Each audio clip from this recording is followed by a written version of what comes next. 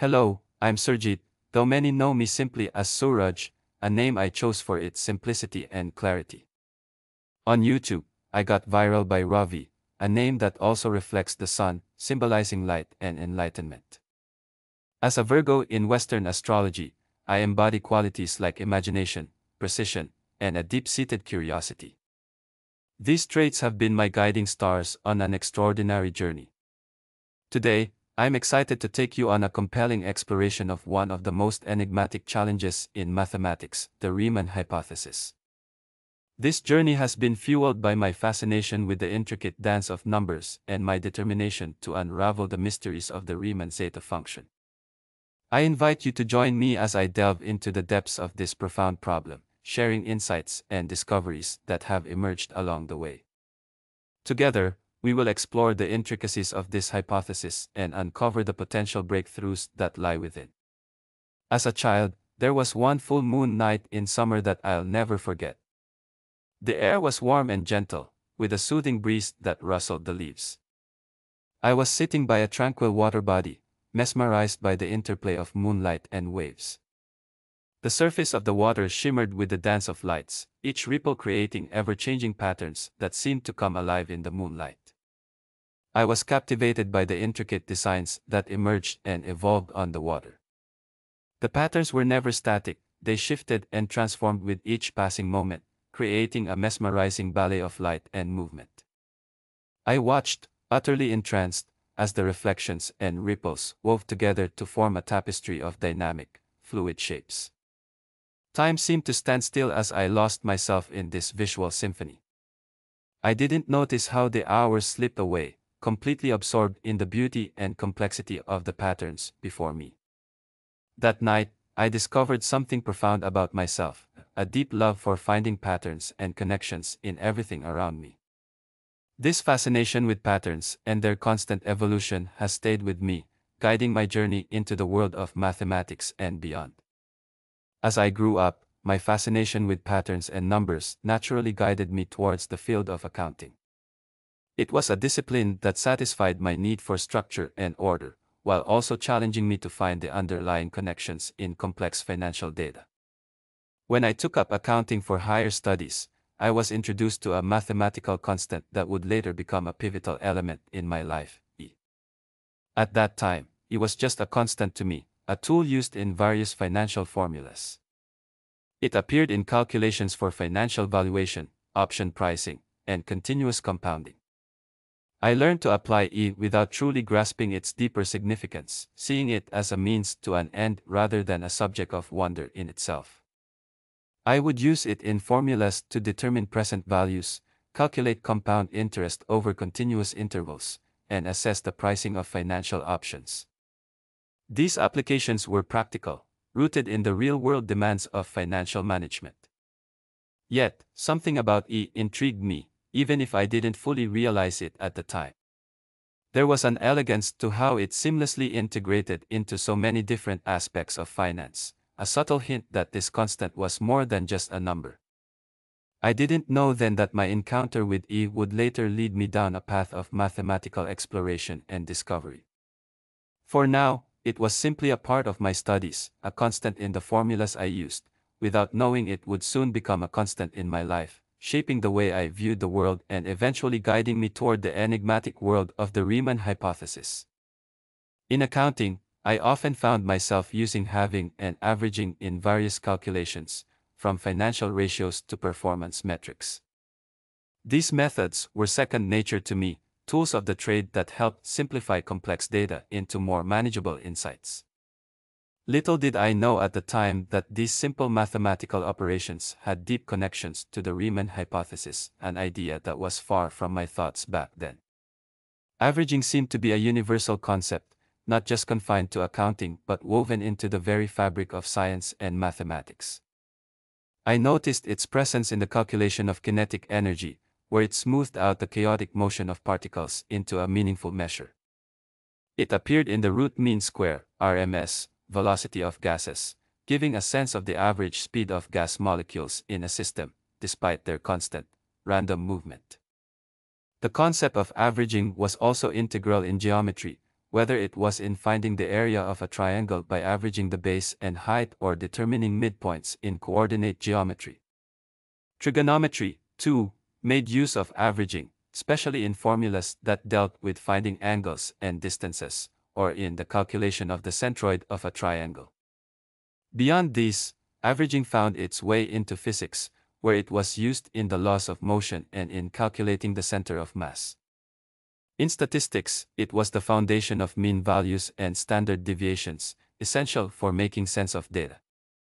In economics, averages helped in determining trends and forecasting, while in engineering, they were used to optimize designs and processes. At the time, I viewed these as isolated applications, each serving its purpose in its respective field. I didn't realize that the concept of averaging, a fundamental idea in mathematics, was a thread that connected various disciplines.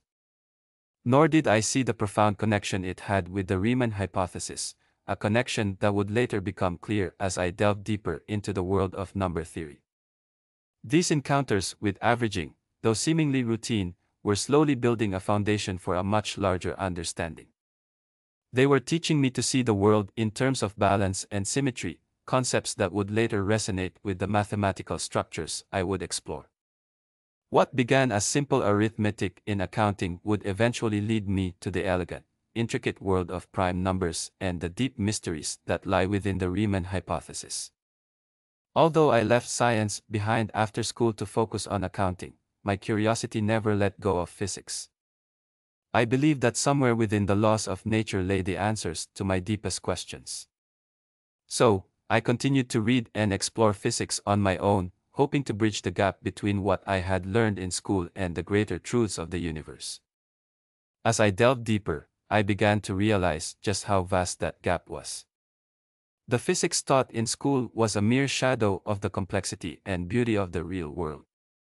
My idea of a static solar system, with planets orbiting in neat, predictable paths, was completely wrong. The solar system is a dynamic, ever changing place, with gravitational interactions, orbital shifts, and chaotic elements that defy the simplicity of textbook diagrams. Even the picture of atoms I had in my mind, tiny, solid spheres with electrons neatly orbiting the nucleus, was far from accurate. The reality was much stranger and more fascinating, with electrons existing in probability clouds, their positions and velocities governed by the mysterious laws of quantum mechanics.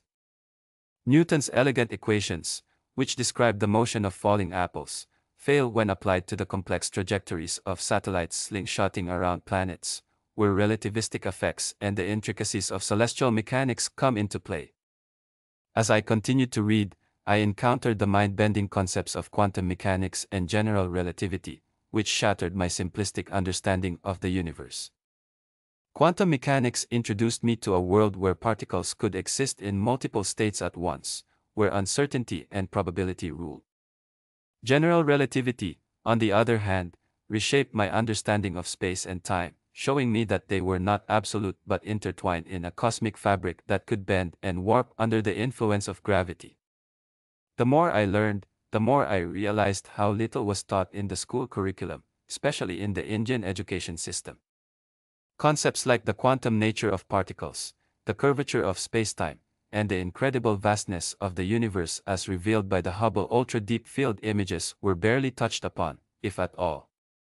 These images, showing countless galaxies scattered across the dark expanse of space, each containing billions of stars, made me acutely aware of the enormity of the universe and how limited our school level understanding really was. It became clear to me that the physics I learned in school was just the tip of the iceberg. The true nature of the universe, as revealed by modern science, was far more complex, interconnected, and awe-inspiring than I had ever imagined. This realization fueled my desire to keep learning, to seek out the deeper truths that lie beyond the surface, and to connect these truths to the mathematical patterns I had always been drawn to. This continuous thirst for knowledge, the drive to understand the underlying principles of the universe, eventually led me to the Riemann hypothesis, a problem that, like the universe itself, was both daunting and filled with endless possibilities. As I continued my journey through the world of physics, I encountered concepts that were as intriguing as they were perplexing. The more I read, the more I was drawn into the strange and counterintuitive realm of quantum mechanics, QM. Here, the classical laws of physics that I had grown up with seemed to dissolve, replaced by principles that defied common sense. Concepts like wave-particle duality, wave-function collapse, quantum decoherence, the quantum eraser, and the measurement problem in the double-slit experiment left me grappling to understand a reality that was far more mysterious than I had ever imagined. Wave-particle duality. One of the first challenges I faced was accepting the idea of wave-particle duality. In the world of quantum mechanics, particles like electrons and photons don't fit neatly into the categories of wave or particle. Instead, they exhibit properties of both.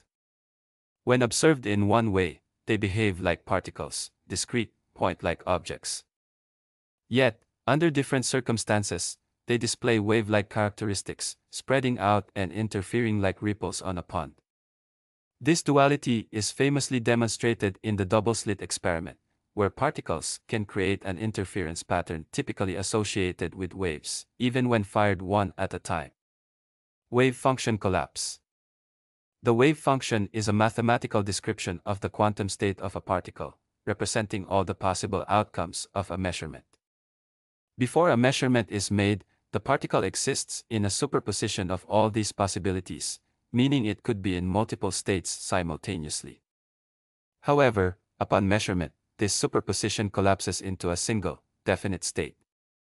This phenomenon, known as wave function collapse, is at the heart of the measurement problem in quantum mechanics, raising profound questions about the nature of reality and the role of the observer. Quantum decoherence. Quantum decoherence is a process that helps explain why we don't observe superpositions in the macroscopic world.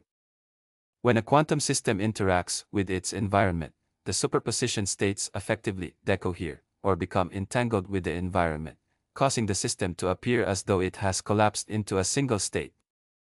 This interaction with the environment effectively hides the superposition, making it look like classical behavior to an observer, even though at the quantum level, the superposition still exists. Quantum Eraser and measurement problem. The quantum eraser experiment takes the weirdness of quantum mechanics even further.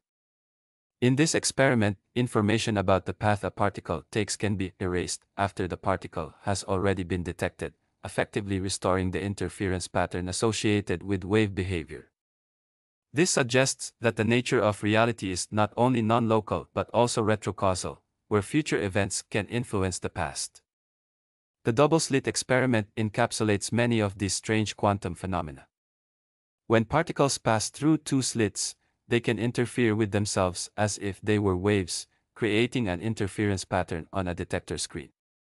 However, if one attempts to measure which slit a particle goes through, the interference pattern disappears, and the particle behaves as if it went through one slit or the other, not both.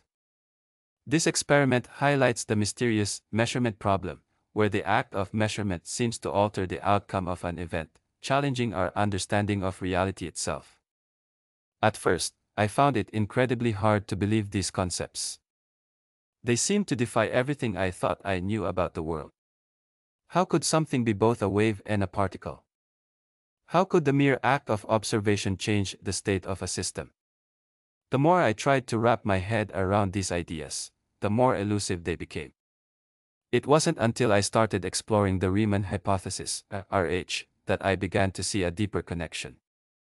The RH, like quantum mechanics, delves into the fundamental nature of reality, this time through the lens of mathematics.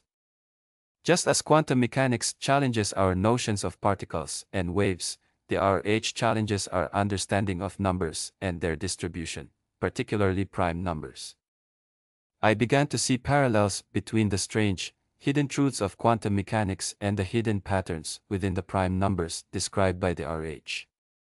Both realms revealed that beneath the surface of what we perceive, there is a more intricate, mysterious structure waiting to be uncovered.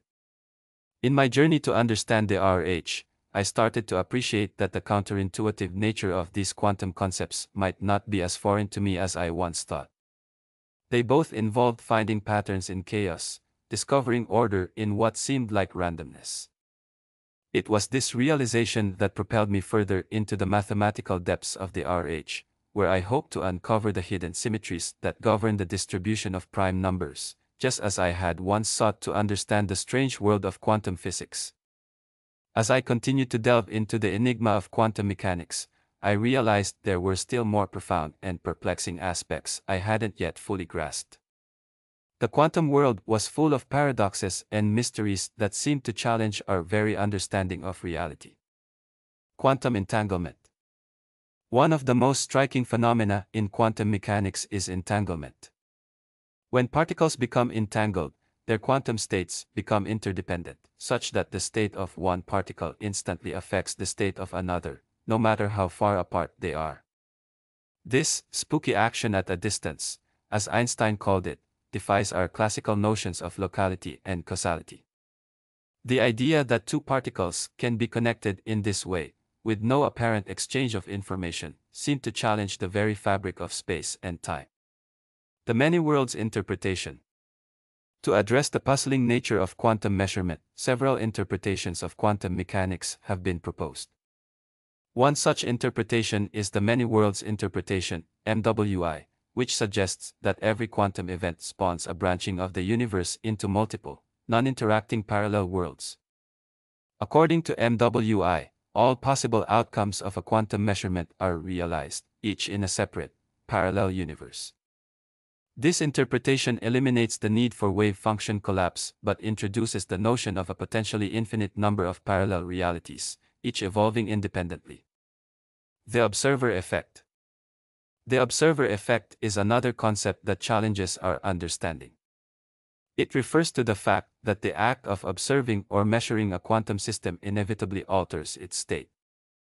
This effect is not merely a limitation of our measuring instruments but is deeply embedded in the nature of quantum systems. It raises questions about the role of consciousness and the observer in the measurement process, suggesting that reality might be fundamentally different from what we perceive. Quantum superposition. Superposition, the idea that a quantum system can exist in multiple states simultaneously, is another mind bending aspect of quantum mechanics. A classic example is Schrodinger's cat, a thought experiment where a cat in a sealed box is considered to be simultaneously alive and dead until observed. This superposition of states persists until a measurement collapses the system into one of the possible outcomes. The concept of superposition challenges our classical intuitions about the nature of reality and the limits of what we can know. Quantum tunneling. Quantum tunneling is a phenomenon where particles pass through energy barriers that they classically shouldn't be able to cross. This occurs because, in quantum mechanics, particles are described by wave functions that can extend beyond classical barriers. Quantum tunneling has practical implications, such as in the operation of tunnel diodes and in nuclear fusion, where it allows particles to overcome potential energy barriers. The uncertainty principle. Heisenberg's uncertainty principle posits that certain pairs of physical properties, like position and momentum, cannot be simultaneously measured with arbitrary precision. The more accurately we know one property, the less precisely we can know the other. This principle underscores the fundamental limits of measurement and challenges our ability to predict and understand quantum systems with complete certainty. Quantum gravity and unified theories. Finally, the quest to unify quantum mechanics with general relativity into a single theory of quantum gravity remains one of the biggest challenges in theoretical physics. Quantum mechanics deals with the very small, while general relativity addresses the very large. Finding a coherent framework that incorporates both is crucial for understanding the fundamental nature of space, time, and gravity. As I explored these enigmatic aspects of quantum mechanics, I found myself grappling with concepts that defied conventional logic and challenged the very nature of reality. Each discovery seemed to peel back another layer of the universe's complexity, revealing deeper mysteries and more profound questions it became clear that the quantum world was not only a realm of strange and counterintuitive phenomena but also a domain rich with potential connections to the mathematical mysteries I was beginning to uncover. The more I learned about these quantum phenomena, the more I realized how they mirrored the complexity and depth I found in the Riemann hypothesis. Both realms, quantum mechanics and number theory, reveal that beneath the apparent randomness and chaos, there are underlying structures and patterns waiting to be discovered. This parallel between quantum mechanics and the Riemann hypothesis fueled my determination to delve deeper into both fields, seeking to uncover the hidden truths that lie at their intersections. The nature of time has always been a deeply intriguing and perplexing concept, one that challenges our fundamental understanding of reality. From its everyday experience as a seemingly linear and constant flow to its more complex manifestations in the realms of physics and philosophy, time remains one of the most elusive and enigmatic aspects of our existence. Time in classical physics. In classical physics, time is treated as an absolute, linear quantity. Sir Isaac Newton's framework of absolute time presented time as an ever present backdrop against which events occur. According to this view, time marches forward uniformly and independently of the events happening within it. Newton's concept of absolute time allowed for a straightforward understanding of motion and causality, one where the past, present, and future are neatly separated and order is maintained through a constant flow of time. In everyday life, this classical view of time seems intuitive. We use clocks and calendars to measure and track time, organizing our activities and planning our future based on a continuous, linear progression. Time appears to flow at a steady rate, unaffected by the events we experience or the speed at which we move. This everyday experience of time as an unchanging, predictable dimension is something we rely on for everything from scheduling appointments to reflecting on past events. Time in relativity. Einstein's theory of relativity revolutionized our understanding of time by introducing the concept of spacetime, a unified framework where time and space are intertwined. According to relativity, time is not an absolute entity but is relative to the observer's frame of reference. This means that time can vary depending on how fast an observer is moving and how close they are to massive objects. In special relativity, Einstein showed that time dilates, or slows down, for objects moving at high speeds relative to an observer. This time dilation effect becomes more pronounced as an object approaches the speed of light. For example, astronauts traveling at near light speeds would experience time at a different rate compared to those on Earth, a phenomenon known as time dilation.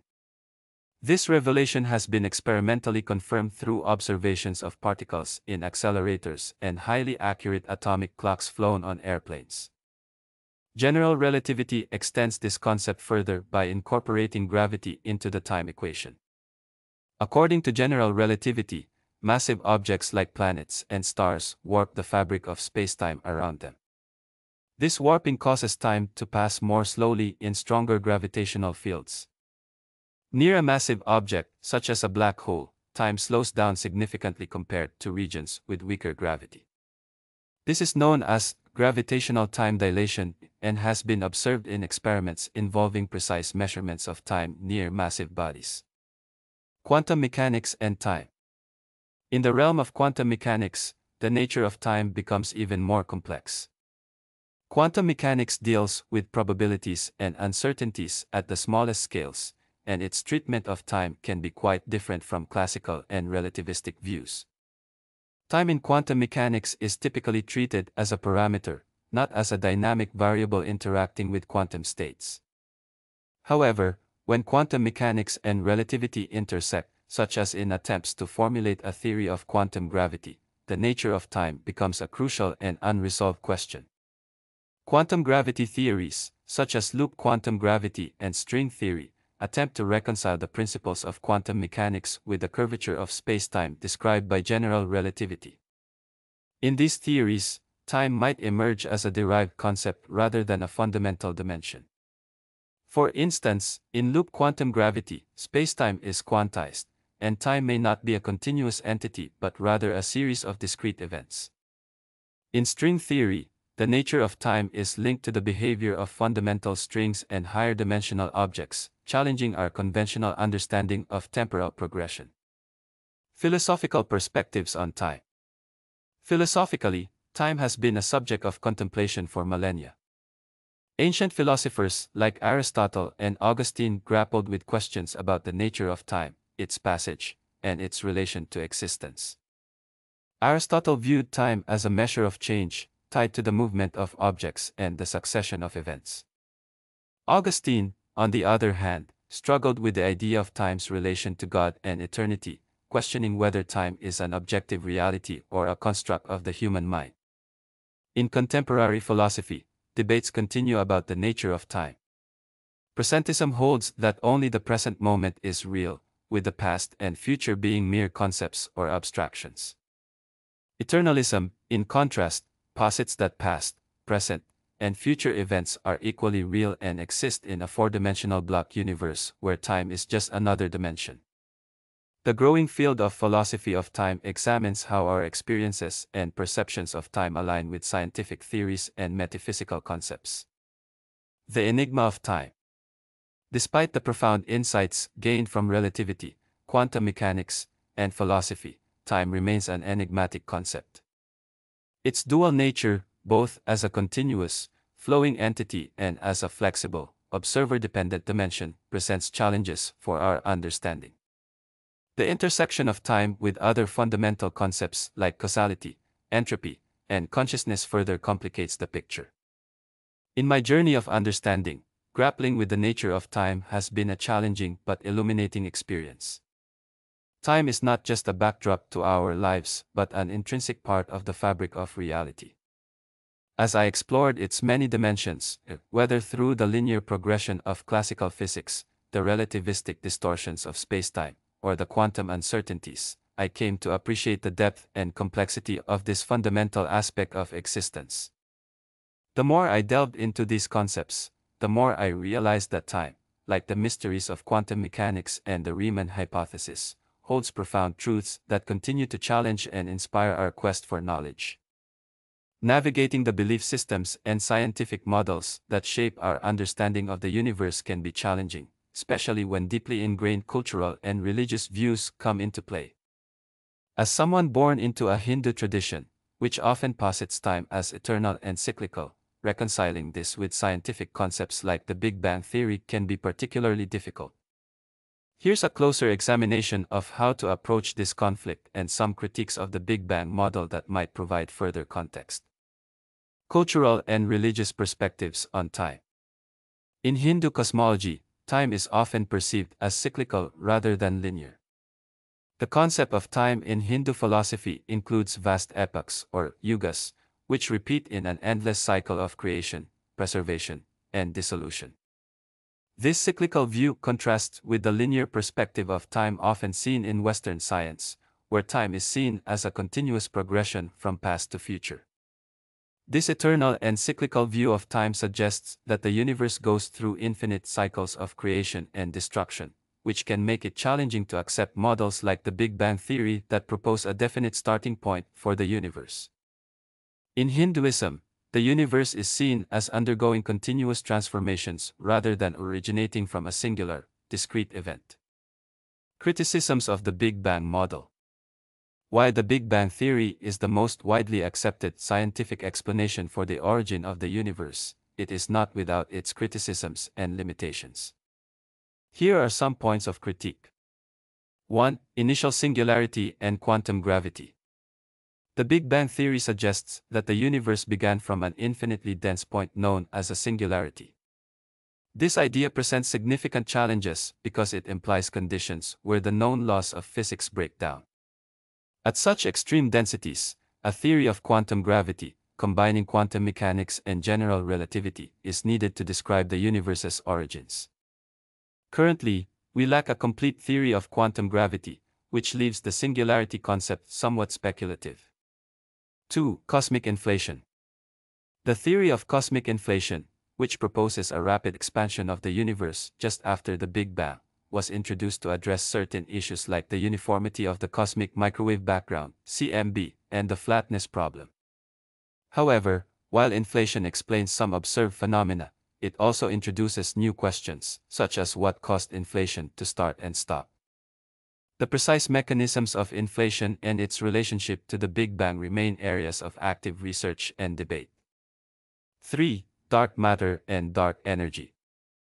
Observations suggest that about 27% of the universe is composed of dark matter and about 68% of dark energy. These components are not yet fully understood, and their existence challenges our current models of cosmology. The nature of dark matter and dark energy and their role in the evolution of the universe add complexity to the Big Bang model and highlight gaps in our understanding. 4. Alternative cosmological models. There are alternative theories to the Big Bang model, such as the steady state theory, which proposes that the universe has always existed in a constant state with continuous creation of matter. While largely superseded by the Big Bang theory, these models offer different perspectives on the universe's origin and evolution. Other alternatives include cyclical models of the universe, which align more closely with the Hindu concept of eternal time and suggest that the universe undergoes endless cycles of expansion and contraction. 5. Philosophical and theological questions. The Big Bang Theory raises profound philosophical and theological questions about the origin of the universe. If the universe began from a singularity, what caused this initial event? The theory does not provide an explanation for the cause of the Big Bang itself or the ultimate reason for the existence of the universe. This lack of a definitive answer leaves room for philosophical and theological interpretations that challenge the scientific view. Reconciling scientific and cultural perspectives. Reconciling the Big Bang theory with a cyclical or eternal view of time requires a nuanced approach. It's important to recognize that scientific theories and cultural or religious beliefs can coexist in a complementary rather than mutually exclusive manner. 1. Cyclical models of cosmology. Some modern cosmological models propose that the universe undergoes a series of expansions and contractions, akin to a cyclical view of time. The idea of a big bounce, where the universe expands and then contracts before a new Big Bang occurs, aligns with some traditional views of eternal cycles and might offer a bridge between scientific models and cultural beliefs. 2. Metaphorical interpretations. Viewing scientific theories as metaphorical representations rather than literal truths can help integrate them with cultural and religious perspectives. The Big Bang Theory, for example, can be seen as describing the observable history of the universe rather than its ultimate nature or purpose. 3. Philosophical integration. Philosophical exploration of the nature of time, existence, and the universe can provide a framework for integrating scientific and cultural perspectives. By considering the broader implications of both scientific theories and cultural beliefs, one can develop a more holistic understanding of reality. In conclusion, while reconciling the eternal and cyclical view of time with the Big Bang theory presents challenges, it also opens up opportunities for deeper exploration and integration. By critically examining both scientific and cultural perspectives, one can find ways to appreciate and incorporate diverse views on the nature of time and the universe. As I delved deeper into the mysteries of the universe, I found myself grappling with concepts that challenged everything I thought I knew. One of the most perplexing ideas was the nature of time itself. Born and raised in a culture that views time as eternal, cyclical, and intertwined with the rhythms of the cosmos, I found it difficult to reconcile this with the linear, one-way arrow of time presented in modern physics. The more I studied, the more I became aware of how little was taught in school about the true nature of time and space. Concepts like redshift, the arrow of time, and the light cone were alien to the simplistic models I had learned as a student. Redshift was a particularly challenging idea. It was presented as a fundamental piece of evidence for the Big Bang Theory, showing that distant galaxies are moving away from us, their light stretched into longer, redder wavelengths. This expanding universe suggested a beginning, a singular moment in time when everything burst forth from a single point. But this linear narrative clashed with my deeper belief in time as something eternal and cyclic not confined to a one-way trajectory from a single event. The idea that the universe was expanding outwards in all directions, stretching time and space, was difficult to swallow. Then there was the arrow of time, the idea that time flows in one direction, always moving forward, never backward.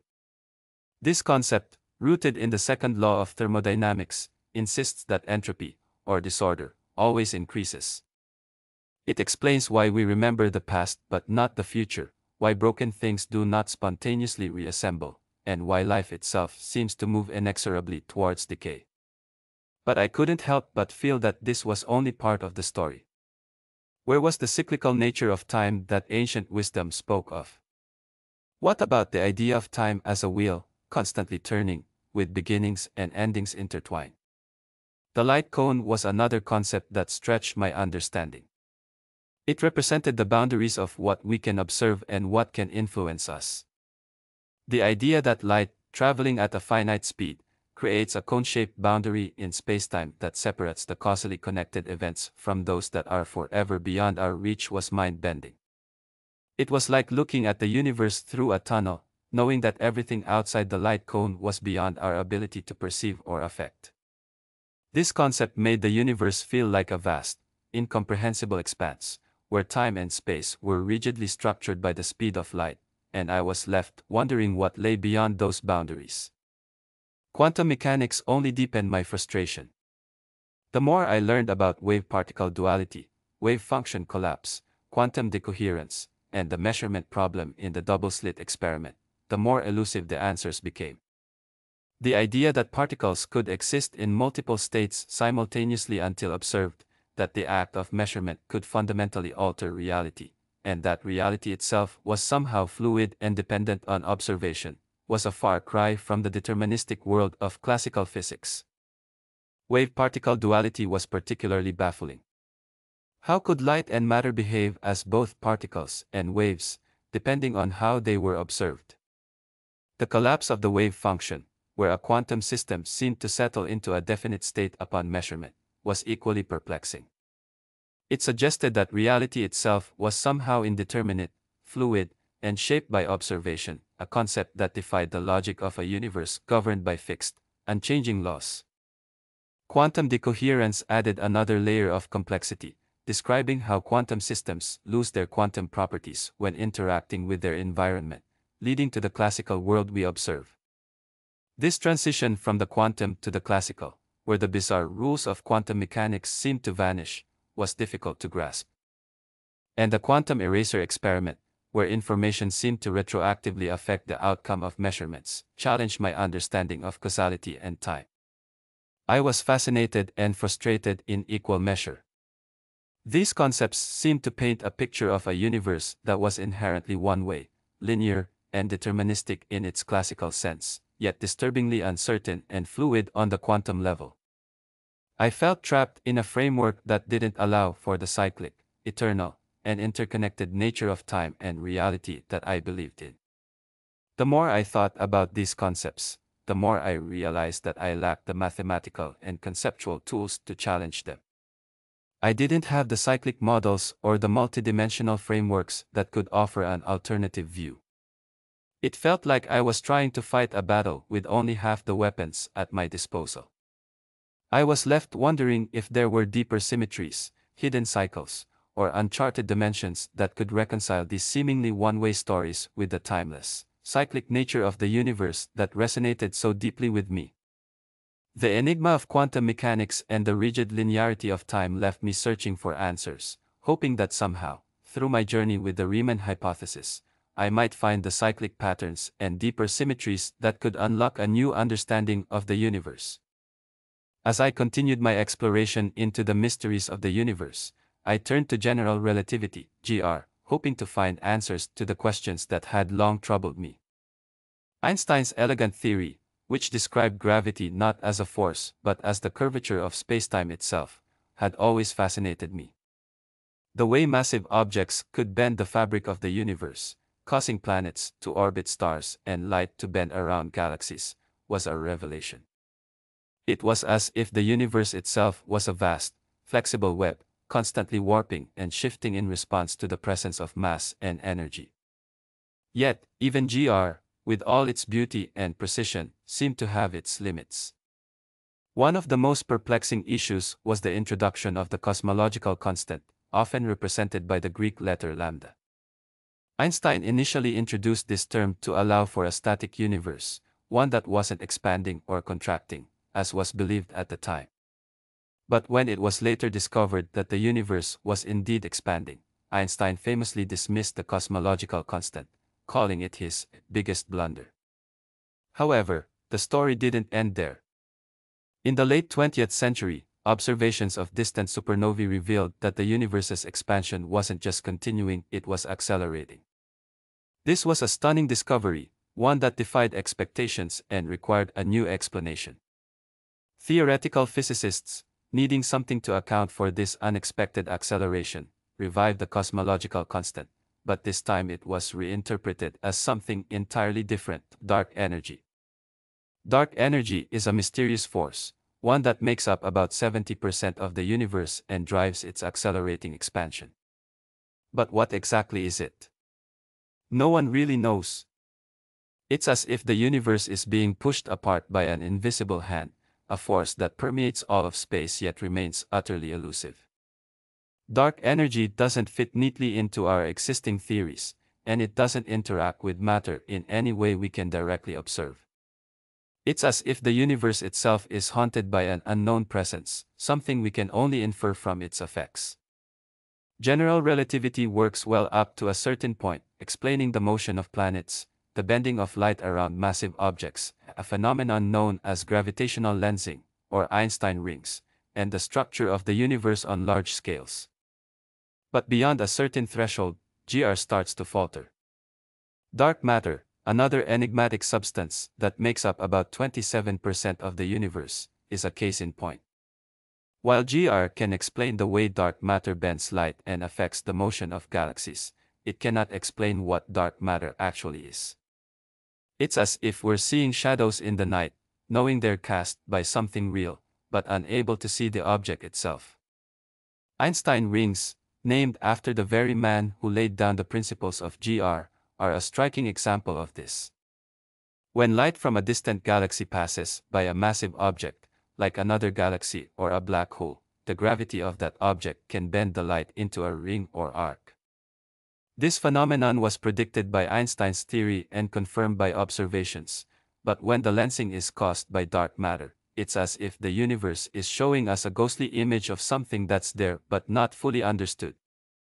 Dark matter doesn't emit, absorb, or reflect light, making it invisible to our eyes and our instruments. We only know it's there because of the gravitational effects it has on the visible matter around it.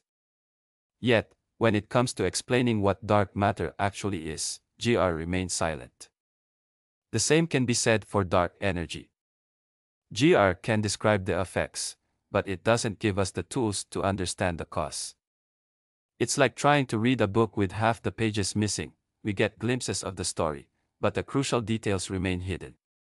And then, there are the limits of GR itself. Beyond certain extremes, such as the conditions at the heart of black holes or the very beginning of the universe, GR breaks down. The equations lead to singularities, points where the curvature of spacetime becomes infinite, and the laws of physics as we know them cease to apply.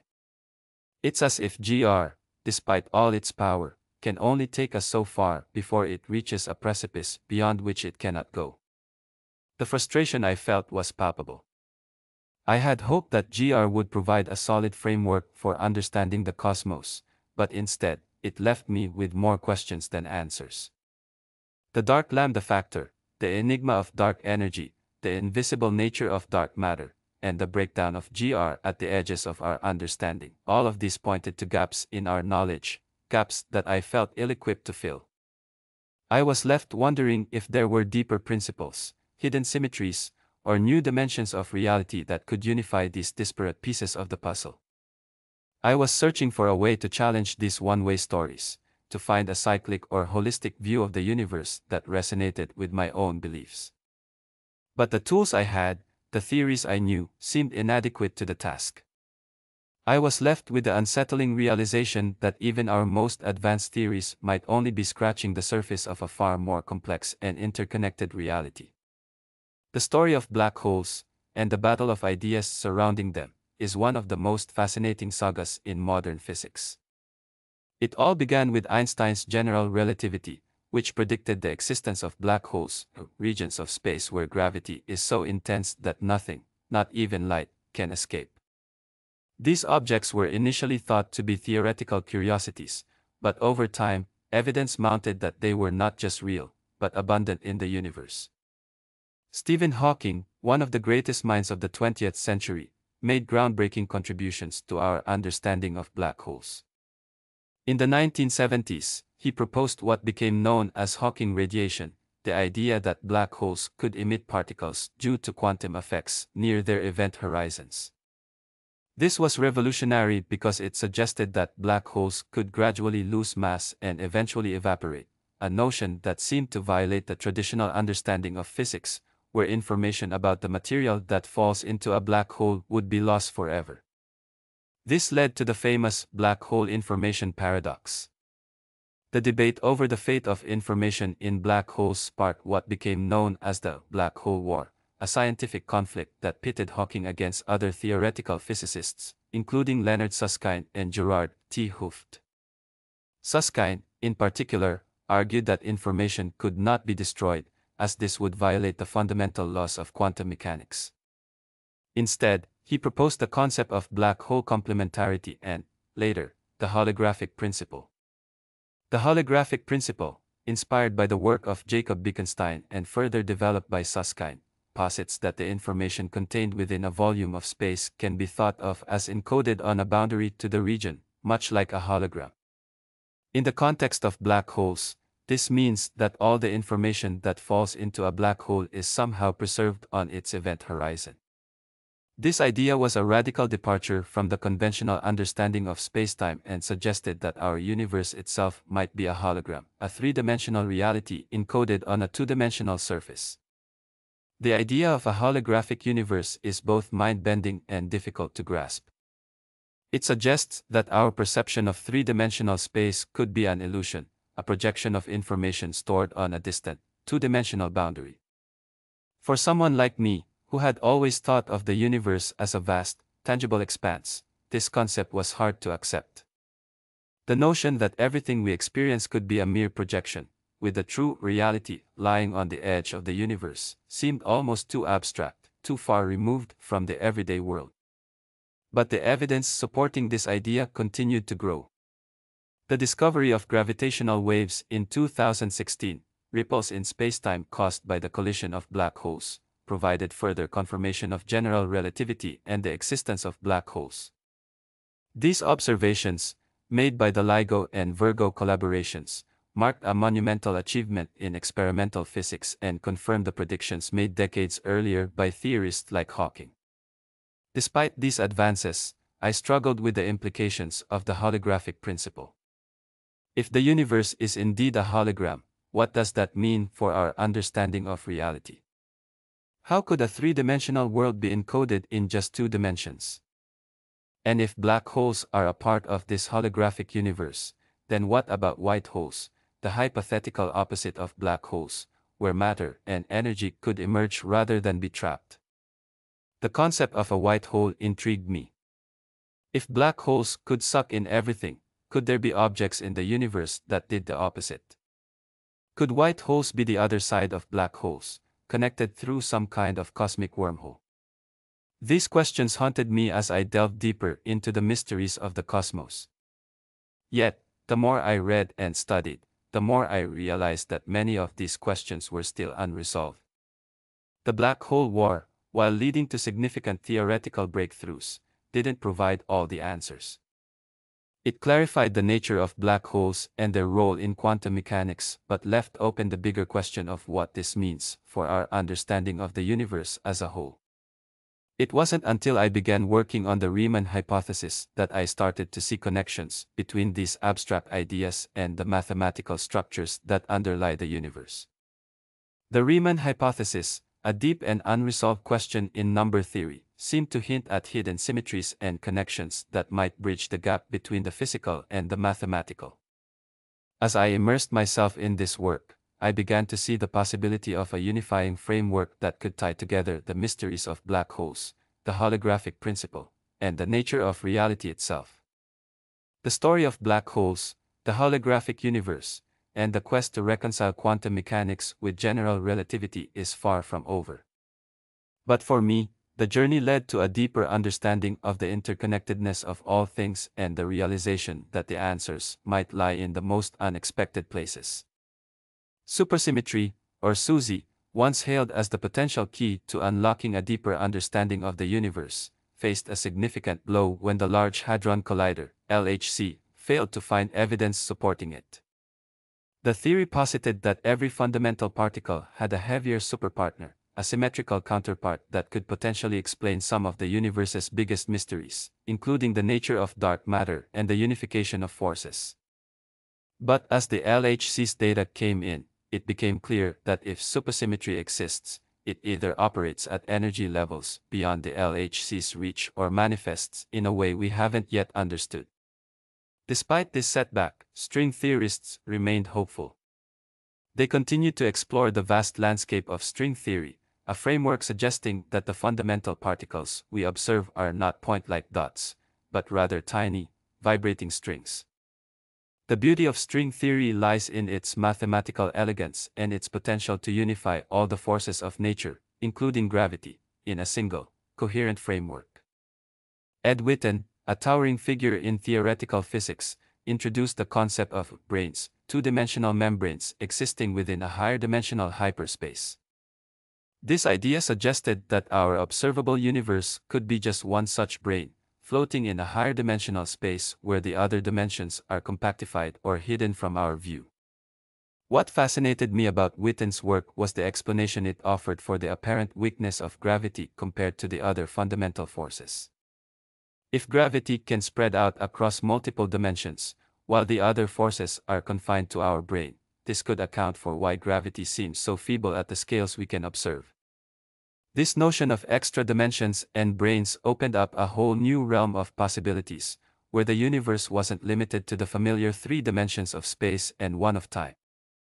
It suggested that there could be hidden dimensions, perhaps curled up so tightly that they are imperceptible to us, or even entire parallel universes, each with its own set of physical laws. Brian Greene and Max Tegmark were among the physicists who took these ideas further, proposing multiverse models that push the boundaries of our understanding even more. Greene's work on string theory and the idea of a multiverse, where multiple universes could exist with different laws of physics, and Tegmark's classifications of different types of multiverses, showed me that the cosmos could be far more vast and varied than we ever imagined. These concepts challenged the traditional notion of a single, finite universe and instead pointed to a reality that might be infinite in scope, with countless possibilities. The idea of the multiverse resonated deeply with me. It suggested that the universe we see is just one of many, and that somewhere, in a different universe, the fundamental constants could be different, the laws of physics could vary, and reality itself could take forms we can't even begin to comprehend. This vast, infinite landscape of possibilities was both humbling and exhilarating, as it reminded me that our understanding of the cosmos is still in its infancy. Yet, as I delved deeper into these theories, I couldn't help but feel a sense of frustration. The elegance of these models was undeniable, but they also felt somewhat disconnected from the tangible reality we experience. The mathematics behind them was beautiful, but the lack of experimental evidence left me yearning for something more concrete. I began to see the allure of infinity in these theories, how they push the boundaries of what we could imagine, but I also realized the danger of becoming too enamored with the abstract, with ideas that might forever remain out of reach. It was during this period of grappling with these grand, speculative ideas that I found solace in the more grounded, yet equally profound, world of mathematics. The Riemann hypothesis, with its deep connections to prime numbers and the very fabric of number theory, offered a different kind of infinity, one that was not just theoretical, but deeply intertwined with the structure of reality itself. The journey into supersymmetry, string theory, and the multiverse expanded my horizons, showing me the vastness of what could be. But it also brought me back to the realization that infinity, whether in the cosmos or in the realm of numbers, is not just a distant, unreachable concept. It is something that we engage with every day, in every equation, in every pattern we seek to understand. And it was this realization that ultimately led me to the work that would change my life, the quest to prove the Riemann hypothesis. As I began to revisit the most challenging problems faced by theoretical physicists, I couldn't help but reflect on the enigma of quantum gravity, the seemingly insurmountable task of reconciling the smooth, continuous fabric of spacetime described by general relativity with the discrete, probabilistic nature of quantum mechanics. Gravity, often viewed as the weakest of the fundamental forces, no longer struck me as weak in the traditional sense. Instead, its pervasive, ever present nature reminded me of the way temperature works, where we can approach absolute zero but never quite reach it. This analogy sparked a thought just as absolute zero is a theoretical limit that can never be truly attained, perhaps there is no such thing as absolute zero gravity. Gravity, I realized, must be omnipresent, even in the most seemingly empty regions of space. The absence of gravity would imply a void where spacetime itself ceases to exist, a concept that is not just counterintuitive but impossible. The notorious challenge of quantum gravity also brought to mind the staggering 120 orders of magnitude discrepancy between the predicted and observed energy of empty space, a gap that has puzzled physicists for decades. This mismatch is a glaring sign that our current theories, brilliant as they are, may be missing something fundamental.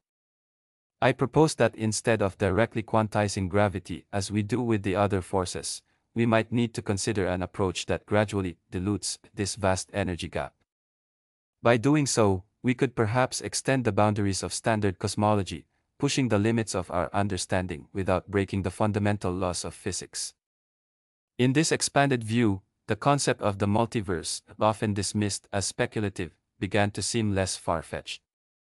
If the fundamental constants of nature, such as the speed of light, could vary across different universes, the key to unification might lie in ensuring that these variations are balanced.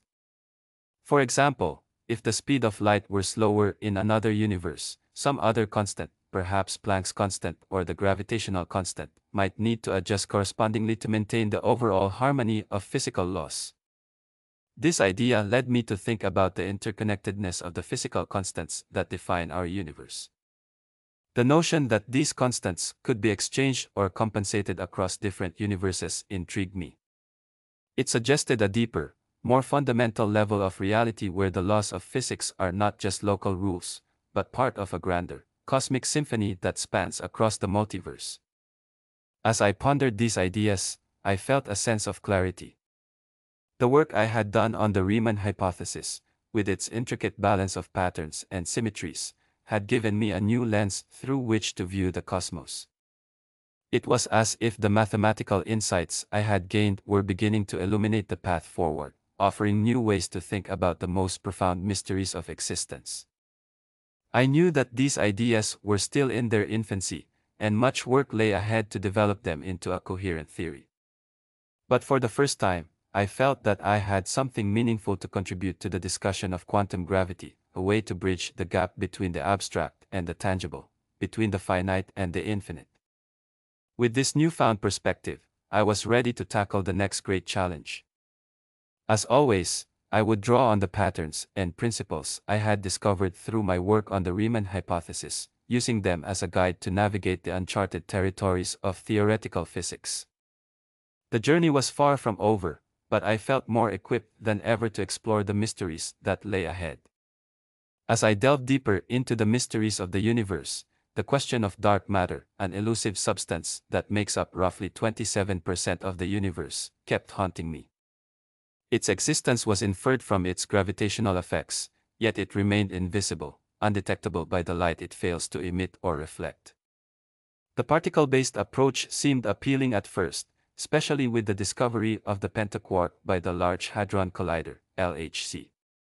This complex particle, made up of five quarks, appeared promising as a potential candidate for dark matter.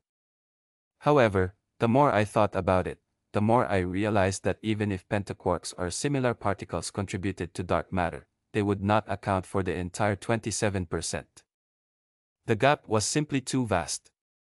The data we receive from the universe, light from living galaxies, paints a picture, but it's a picture with crucial pieces missing. When we measure the light to mass ratio of galaxies, we're effectively averaging across different ages and generations of these star systems.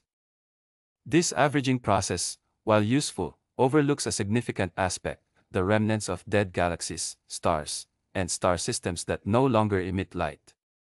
These remnants, scattered across the cosmos and buried deep within the cosmic microwave background, CMB, radiation, are like echoes of a forgotten era, whispering the secrets of a universe long past.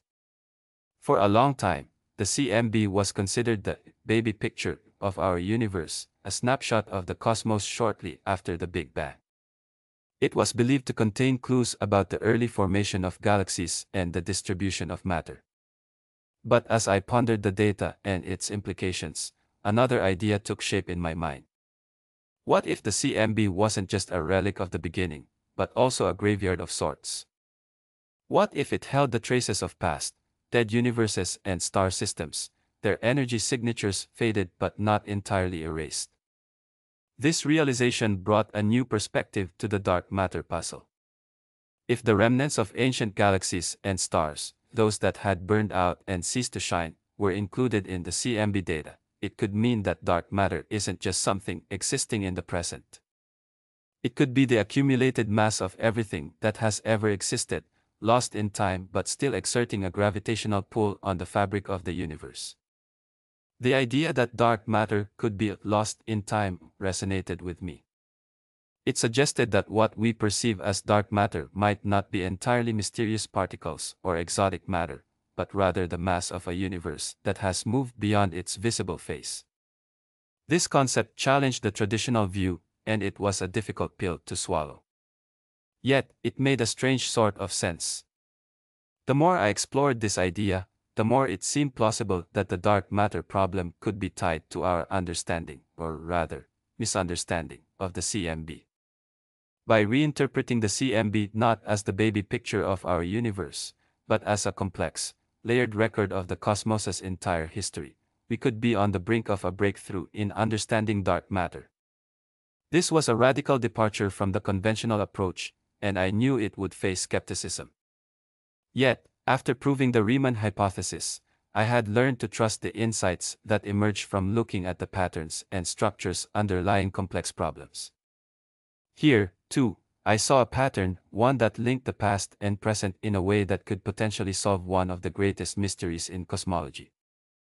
I was ready to dig deeper, to challenge the existing paradigms and explore the possibility that dark matter is not just a shadow lurking in the present universe, but a ghost of the cosmos's past.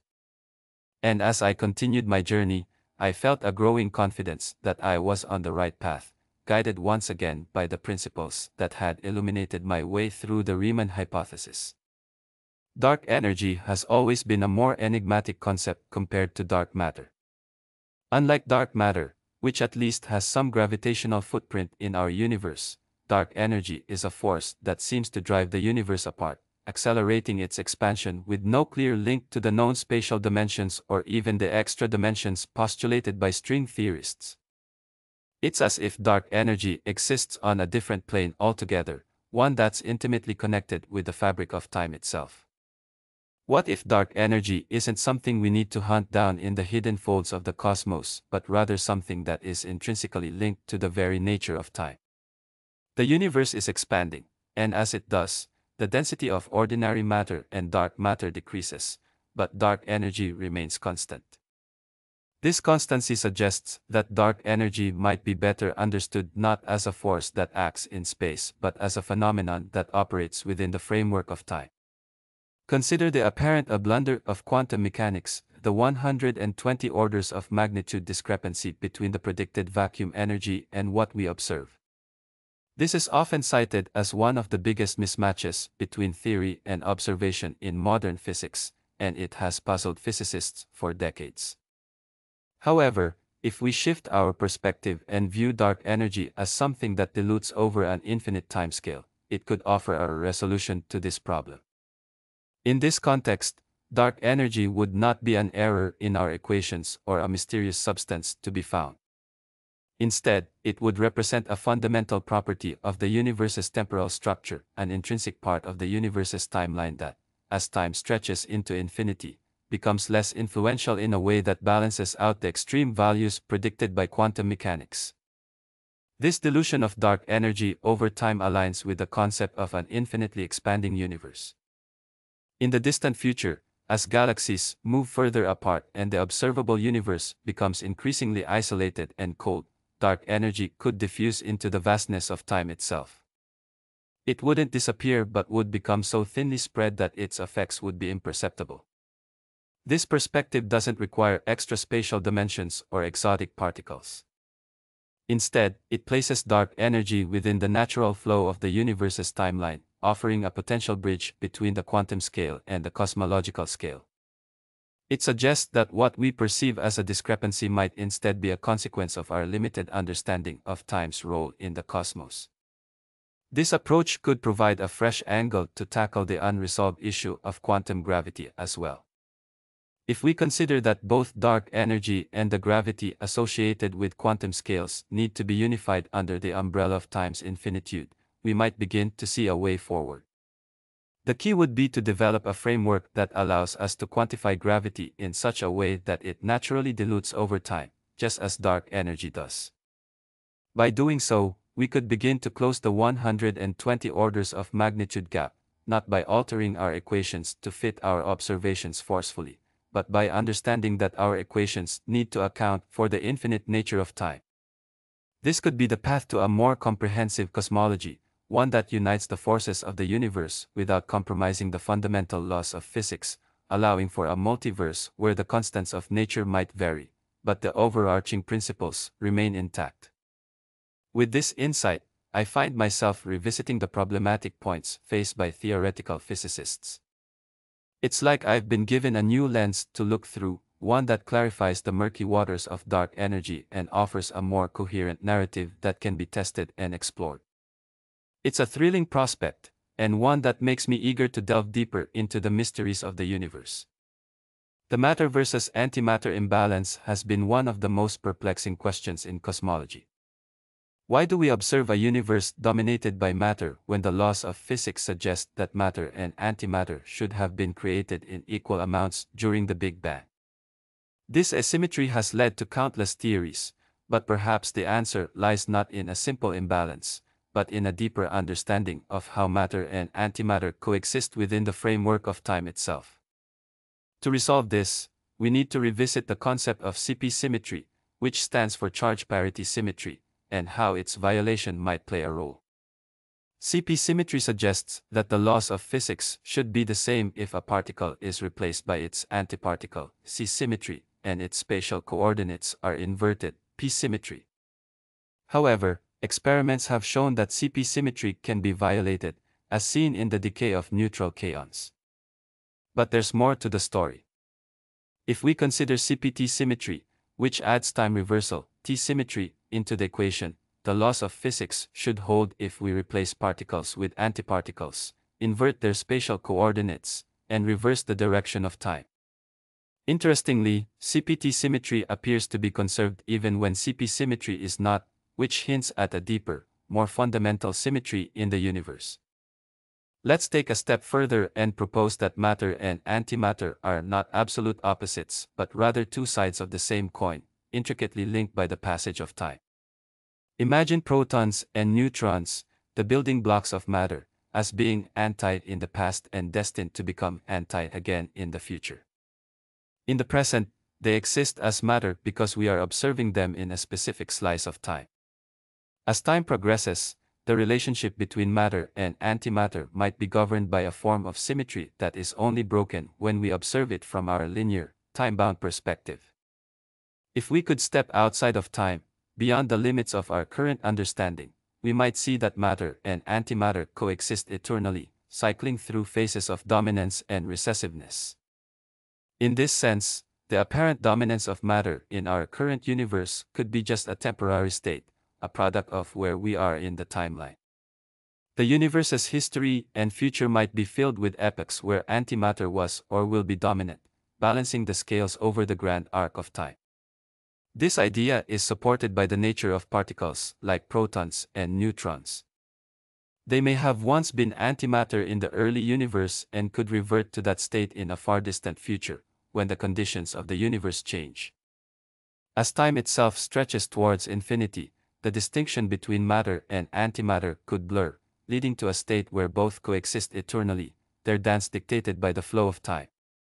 In the end, the apparent imbalance between matter and antimatter might be an illusion, a consequence of our limited viewpoint within a specific era of the universe. Once we lose the constraint of time, or perhaps in a different context of the universe where time behaves differently, we may find that matter and antimatter are always present, in equilibrium, obeying a universal CPT symmetry that transcends our current understanding. This perspective not only offers a new way to think about the matter-antimatter asymmetry but also provides a bridge to other unresolved issues in physics, such as the nature of time itself, and how it could influence the fundamental symmetries of the universe. It suggests that the answers we seek may lie not just in the particles and forces we observe but in the deeper, more elusive fabric of time and how it shapes our reality. Continuing from where we left off. The nature of time has been a subject of deep exploration across various civilizations since antiquity. As a Hindu, I was raised with a perspective that sees time as eternal, akin to a vast stage where all cosmic dramas unfold. This concept is reminiscent of Newton's idea of absolute time, a constant, unchanging backdrop against which the universe plays out its scenes.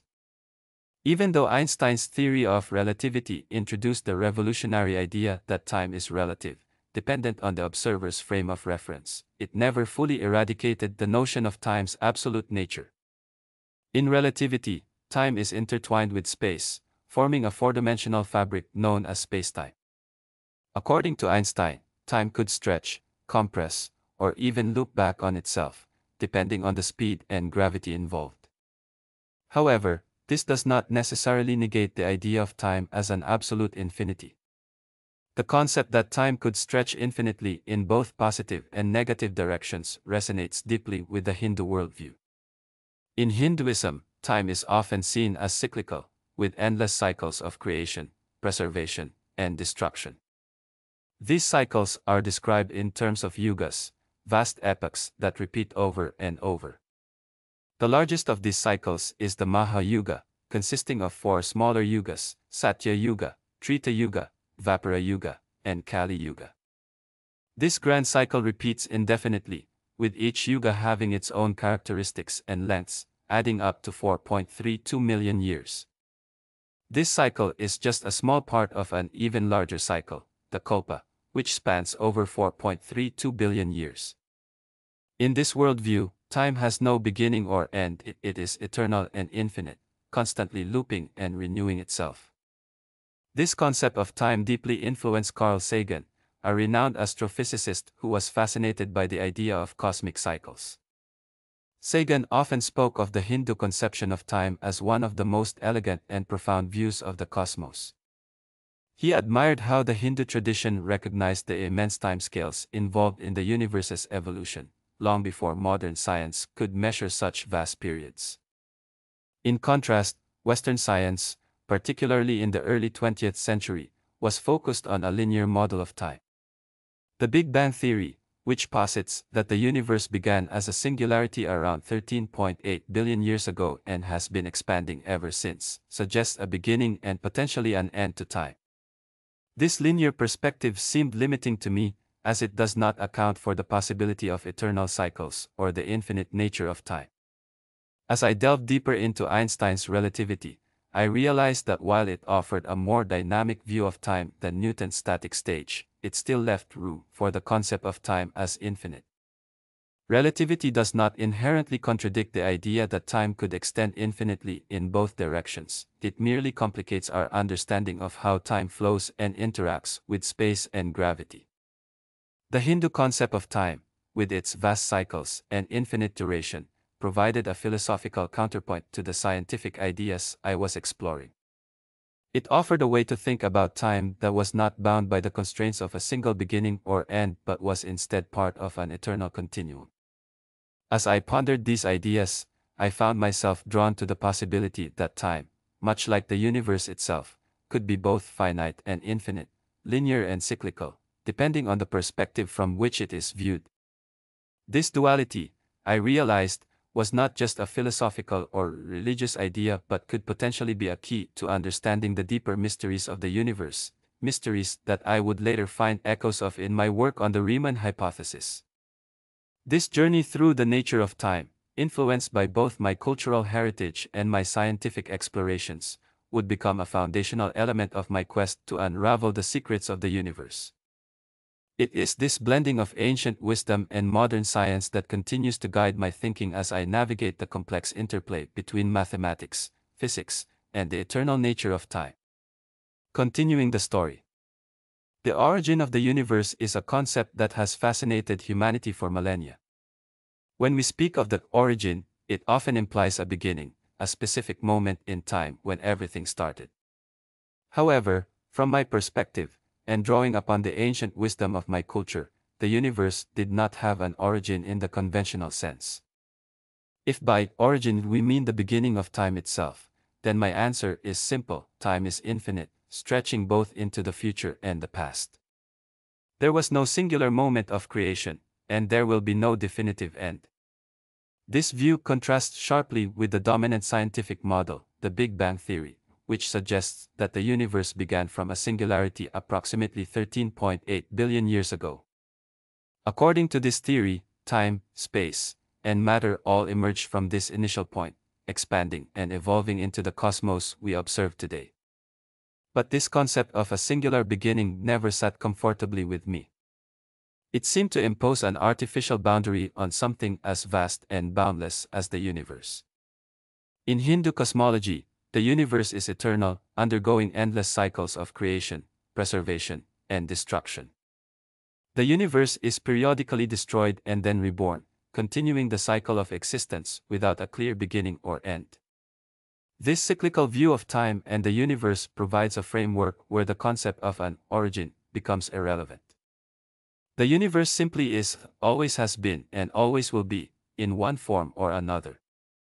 This perspective offers a different lens through which to view the cosmos, one that does not require the universe to have a single point of origin. It aligns with the idea that time itself is a continuum, with no definitive starting or ending points. The Big Bang, in this context, could be seen as just one of many cycles or events in an eternal, ever evolving universe. When I ponder the question of the universe's origin, I find myself drawn to the concept of infinity, an idea that also plays a crucial role in my work on the Riemann hypothesis. Infinity is not just a mathematical abstraction but a fundamental aspect of the universe itself. It challenges our understanding and forces us to confront the limitations of our perceptions. In this infinite framework, the universe's so called origin is merely a transition from one state of existence to another. The concept of time as a linear, one way arrow loses its significance, replaced by a more fluid and expansive understanding of cosmic evolution. This idea also resonates with some modern cosmological theories, such as the notion of a multiverse, where our universe is just one of many, each with its own set of physical laws and constants. In such a scenario, the Big Bang might not be the absolute beginning but rather a local event within a much larger, more complex reality.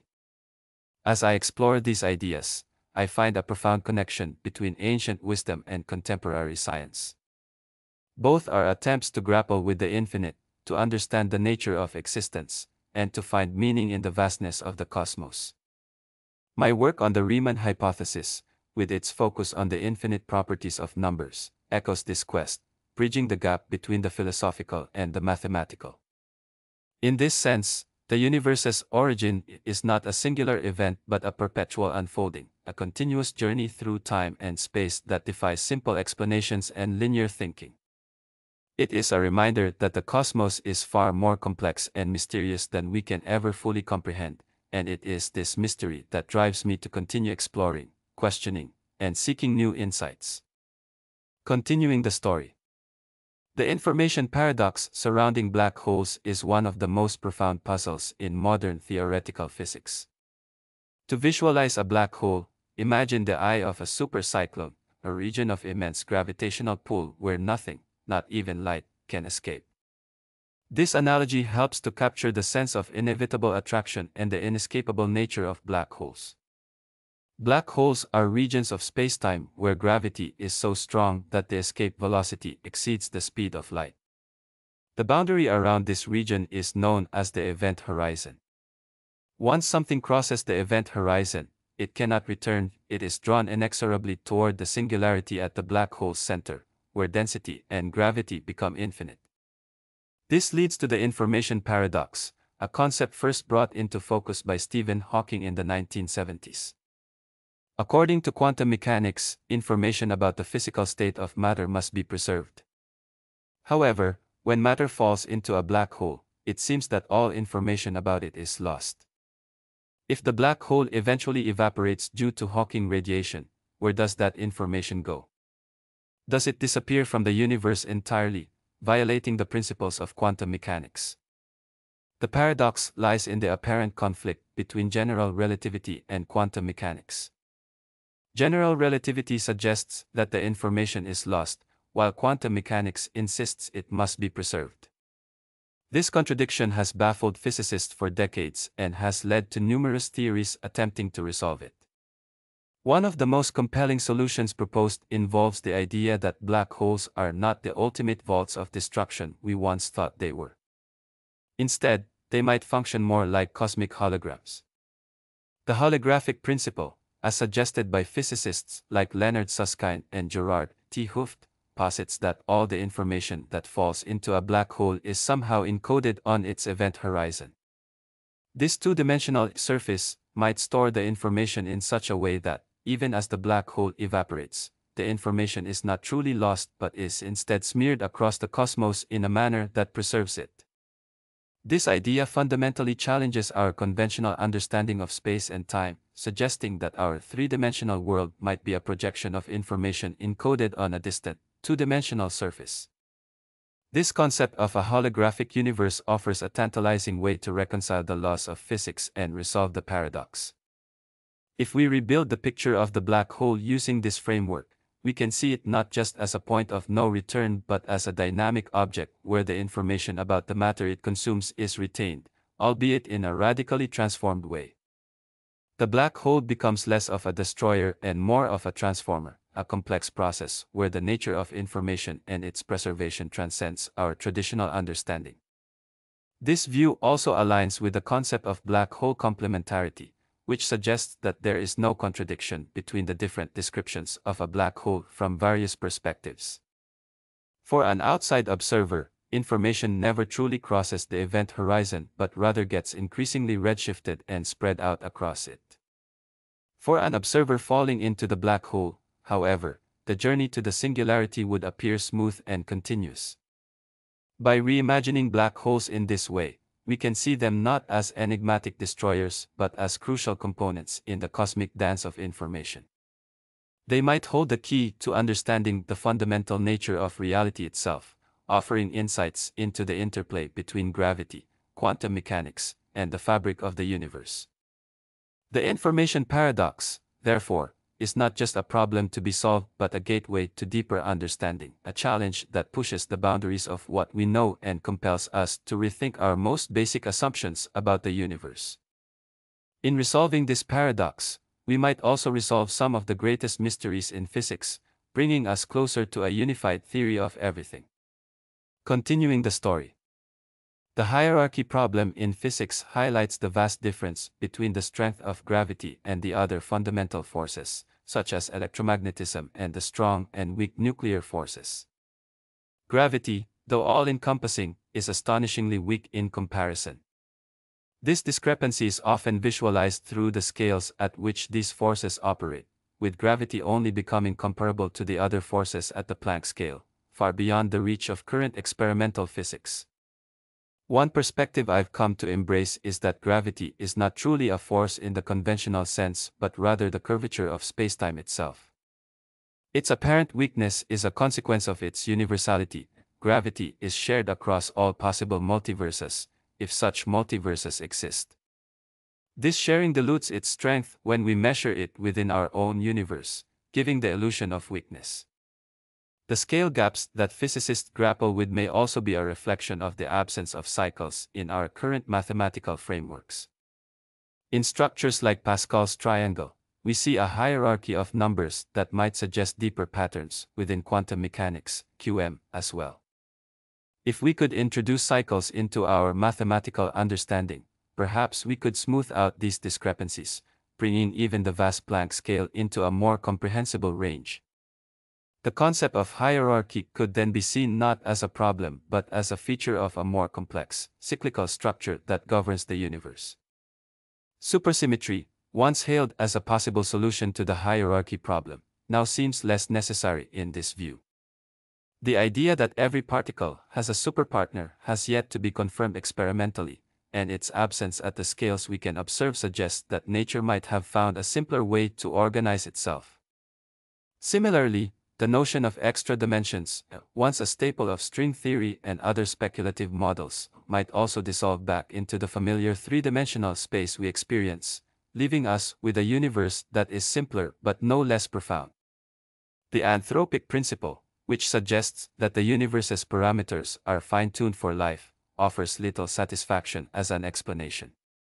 It feels like an admission of defeat, a way of saying, things are the way they are because we happen to be here to observe them. This line of thinking does not solve the hierarchy problem but rather sidesteps it. A more promising approach might be to move away from the abstract, sometimes inscrutable world of imaginary numbers that lies at the heart of quantum field theory, QFT. These imaginary components are essential in the mathematics of quantum mechanics, where they represent the probabilistic nature of particles and waves. However, if we could somehow collapse these probabilities into realities, turning the abstract into the concrete, we might uncover a simpler, more intuitive understanding of the universe. By collapsing the wave function and realizing these imaginary numbers into reality, we could potentially unlock a new way of seeing the cosmos. The complex interactions that now seem so tangled and impenetrable might suddenly appear clear and straightforward revealing underlying cycles and patterns that were previously hidden. This shift could not only address the hierarchy problem but also bridge the gap between the quantum and classical worlds, offering a more unified picture of the forces that shape our universe.